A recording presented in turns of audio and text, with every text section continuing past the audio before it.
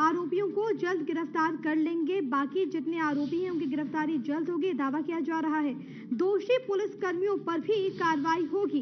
पूरे मामले की गंभीरता से जाँच जारी, ये उन्होंने बात कही है। तो एक और जो आक्रोश है, ये मांग पीड़ित परिजनों के द्वारा भी कि जल्द से जल्द जो भी लोग इसमें लिप्त हैं, बाकी जो लोग हैं, जिनकी अभी तक गिरफ्तारी नहीं हुई है, हालाँकि आरोपी को गिरफ़्तार कर लिया गया है, लेकिन जो बाकी बचे हुए लोग हैं, उनकी भी गिरफ्तारी हो। और अब डीजीपी का ये बयान सामने आया, जिसमें उन्होंने ये बात कही कि जो भी दोषी होगा, उन्हें किसी भी सूरत में बख्शा नहीं जाएगा, बाकी भी जो आरोपी हैं, उन्हें गिरफ़्तार कर लिया जाएगा। पुलिस द्वारा तो त्वरित गति से जब, जैसे मुकदमा दर्ज तब से की गई है, कार्रवाई की जा रही है सख्ती से। जो भी उपयुक्त है, कर रहे हैं। जिला पुलिस अधीक्षक वही हैं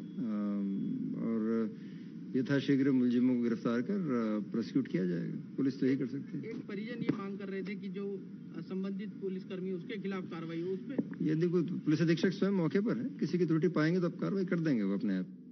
करौली में पुजारी हत्याकांड की